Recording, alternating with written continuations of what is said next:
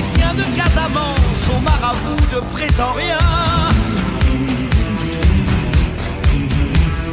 C'est tout un peuple fou qui danse, comme s'il allait mourir de joie. En partance vers la Casamance, majestueuse, riche et authentique.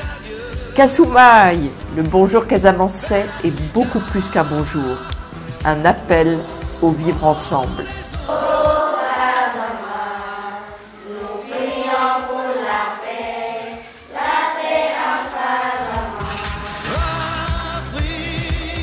Situé au sud-ouest du Sénégal, en Afrique de l'Ouest, avec son fameux club Med et golf qui a fait la réputation internationale de Cap Skirring, cette belle Casamance, qui a retrouvé toute sa paix et sa sécurité, s'ouvre à vitesse grand V et séduit tous les nouveaux visiteurs.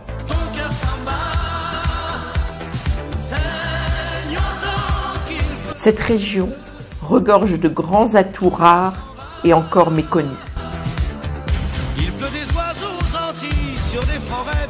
Avec deux aéroports internationaux, celui de la capitale Ziguinchor et celui de Cap au cœur de la ville, et à 5h30 de vol de l'Europe, plongeons dans l'exotisme.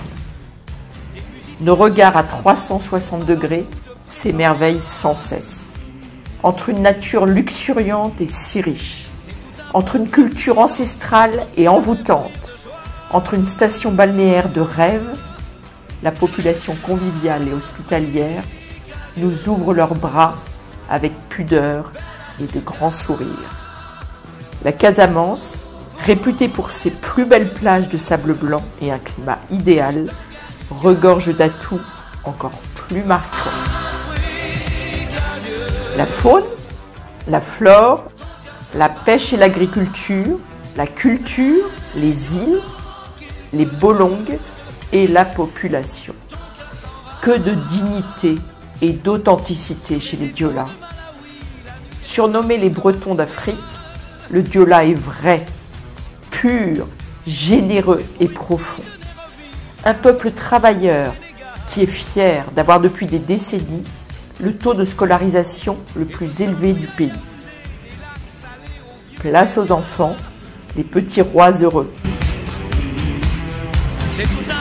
Qui va danser comme s'il allait mourir de joie. Ici, à Diembering, à côté de l'écoparc et du musée, l'école. Et derrière ces bambins, des mamans gaies et travailleuses qui ont une place essentielle dans la région.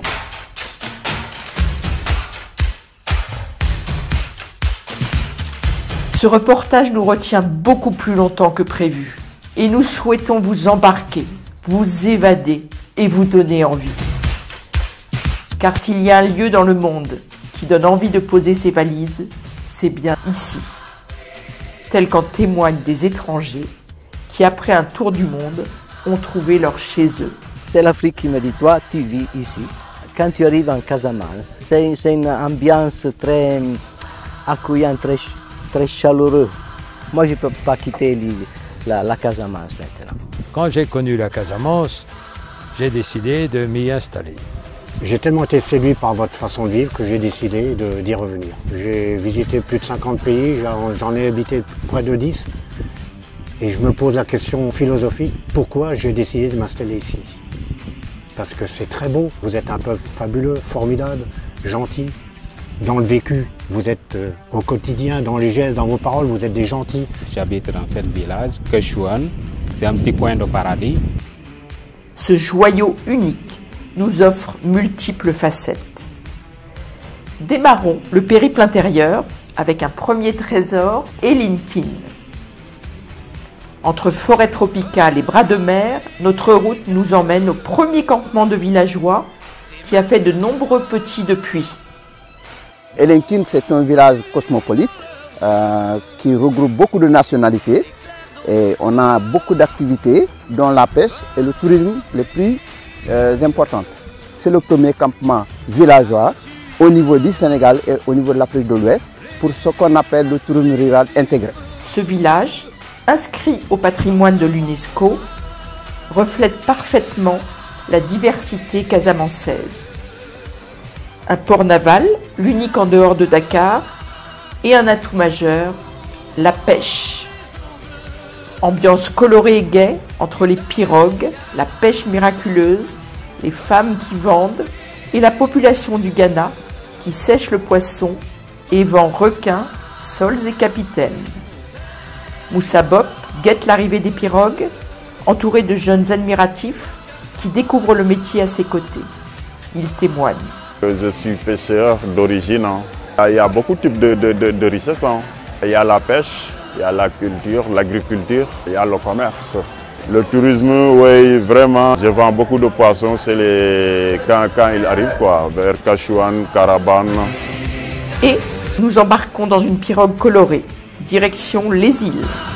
Efran, Kachouan, Caraban, chacune leur charme. Un petit dodo chez Papis, entre mangroves et végétation luxuriante, et nous passons par Eloubaline, village traditionnel, berceau de la Casa Impluvium. Puis un stop mystère magique. Nous sommes invités d'honneur d'un vrai royaume, Moulump, du président de la République au préfet, audience est demandée et préparée pour rencontrer le roi. Moulump, un voyage dans le passé entre rêve et réalité. Nous avons reçu la bénédiction du roi et signé le calumet de la paix au vin de palme. Moment fort et unique, et ce n'est pas fini. Pas encore remis de nos émotions, c'est un nouveau personnage mystère qui nous accueille les bras ouverts dans son musée d'histoire fétichiste à ciel ouvert. Carafa a le verbe facile et dans un français parfait nous chante son histoire Je suis l'initiateur et conservateur de ce musée à ciel ouvert. Et là, le lieu où vous êtes, c'est le musée de Sangawat. C'est un lieu préhistorique. Il existe plus de 1500 ans. Je suis en train de faire bâtir la maison qui a existé plus de 1500 ans par le ministère du, Tourisme en question, Monsieur le ministre, Son Excellence Alioune Retour, en passant par Oussouille, ces coutumes ancestrales nous ont bouleversés. Direction Cap Skirring. Une station balnéaire de rêve où ceux qui aiment bien manger auront le palais comblé. Direction la rue principale de Cap, vivante, grouillante. Étrangers et Sénégalais y travaillent et s'amusent ensemble. Nous avons faim. Une adresse magique nous est chuchotée. Le petit gourmet.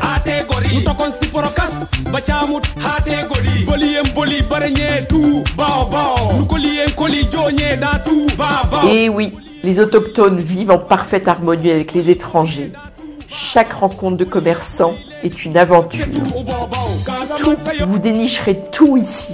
Et les produits sont 100% frais, plein de vitamines et oligo-éléments, un enchantement pour les yeux. Il est temps de penser à dormir.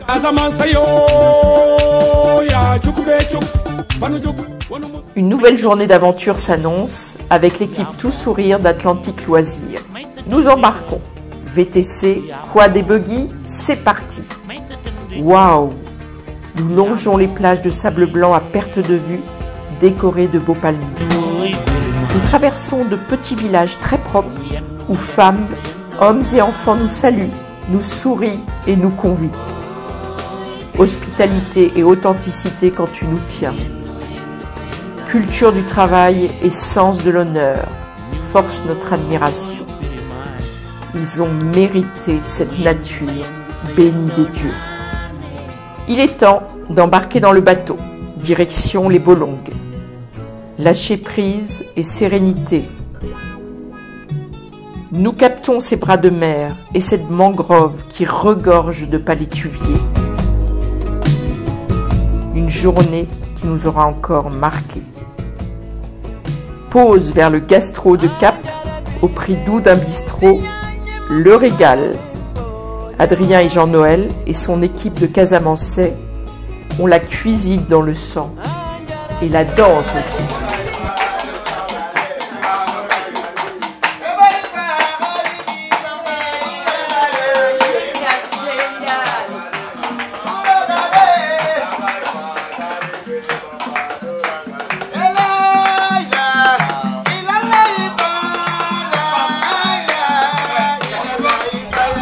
Adrien nous emmène dormir dans son hôtel de charme flambant neuf, à la décoration impeccable.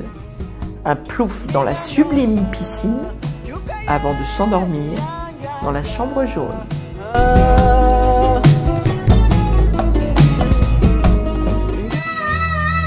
Une journée détente à Cabros et Capskirine. Le Club Med, le golf, la fameuse paillote, mais aussi la Villa des pêcheurs ou Hibiscus. Les kilomètres de sable blanc sont parsemés d'hôtels typiques, familiaux et plus beaux les uns que les autres, qu'il fait bon vivre à Cap. La station balnéaire s'étend entre hôtels, auberges et campements de charme. Nous longeons la plage. Nous marchons dans la rue, attentifs aux moindres détails, et notre regard est attiré par de sublimes bougainvilliers. Chez Nicole, nous chuchotons, ou la fameuse cuisinière du couscous et des tripes. Avec son mari, elle gère les flamboyants colorés, un hôtel qui lui ressemble. Après cette halle très festive, nous observons les habitants et sommes intrigués par un petit campement particulier. Des cases à un pluvium.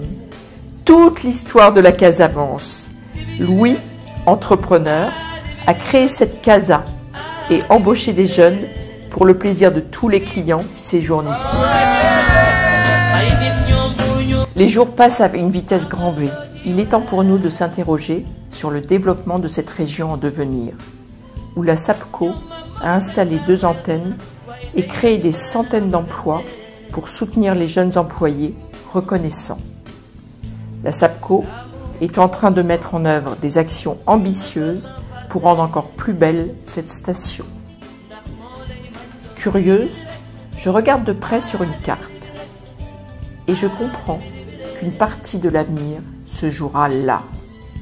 Cafuntina Bene, ça promet. Maître Aliusso, en visite terrain, nous consacre un long moment et des réponses enjouées et rassurantes.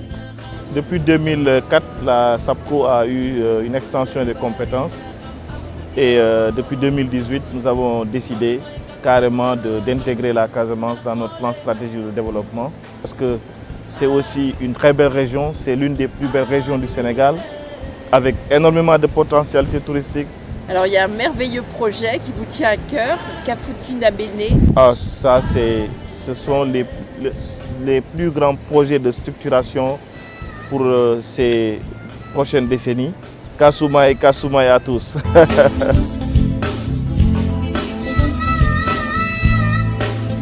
Encore une rencontre marquante. Maurice, un enfant du pays, qui à lui seul embauche 500 employés. Maurice, son sourire rassurant et son sens du partage. Grâce à lui, l'identité Casamance est partout dans le pays. Grâce à sa fameuse eau de source au logo si attachant. La Casamanceaise rayonne dans tout le pays et permet plus de 100 emplois dans cette usine moderne et respectueuse de l'environnement. La Casamanceaise est déjà une euh, société nationale, citoyenne, et euh, dans la région, on promouvoit l'emploi des jeunes. On essaie vraiment d'être à l'écoute des attentes de, la population. Tout ce que nous faisons, nous, nous appuyons sur nos valeurs les valeurs de l'entreprise. Donc c'est vraiment des valeurs déjà de respect, euh, mais surtout d'engagement et de, famille. On a créé une, grosse famille, c'est la Casamanceaise.